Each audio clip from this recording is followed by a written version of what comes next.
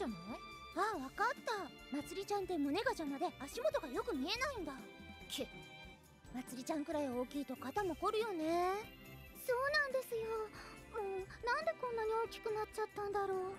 リカ抑えろ。プールの水を赤く染めてあげようじゃないままずい。